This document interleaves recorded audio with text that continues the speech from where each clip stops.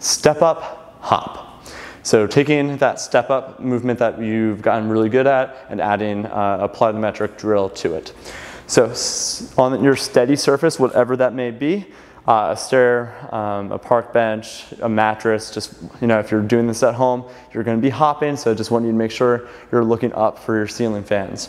So from here, when you're raising your toe, raising your foot, press, and little hop. Lift, press, and little hop. Lift, press, and a little hop. All right, so you're getting that, you're starting in a closed chain position where your foot is on the floor. You're opening it up, closing it, and then hopping back into that open chain position.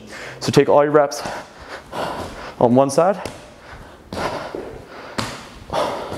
and then switch. Now, if you have a surface that doesn't feel super sturdy for you, just take that fast. Here,